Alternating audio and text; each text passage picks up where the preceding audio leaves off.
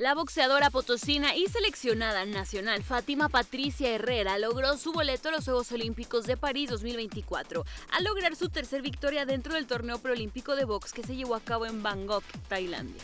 Fátima logró su pase para París 2024 al vencer por decisión unánime a la representante de Canadá, para alcanzar un hecho histórico para el boxeo de San Luis Potosí. La otra mexicana, Citlali Ortiz, también tiene su boleto para París al vencer a su rival de Nigeria. De esta forma, las dos mexicanas se unen a Marco Verde y Miguel Martínez para representar el boxeo mexicano.